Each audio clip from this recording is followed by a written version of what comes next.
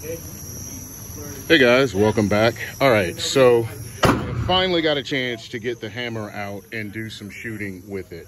Um, and it is quite a contraption, let me tell you.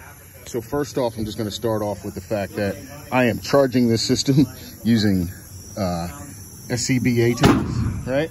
And a, an extreme big bore air rifles booster pump.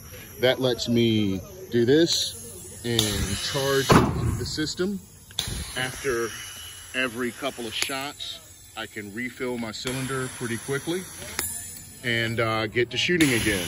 So uh, as they say, or at least Mr. Hollow Point, if you guys have ever checked him out, says uh, you need a booster pump in order to have the best time shooting these things. Uh, it is very true.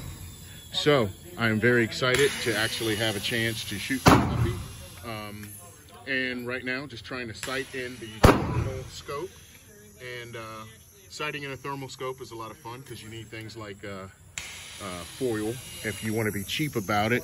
And the biggest problem is, is you have to charge up after so many shots. So it takes a little bit of patience, but we're getting her dialed in. First time shooting the scope, having a lot of fun.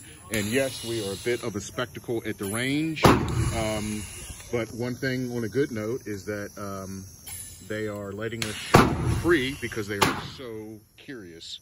so that's also a cool thing is that we're actually free of charge here at the range because they are all, everybody who works here is really excited to see what this thing does, how it works. So having some fun.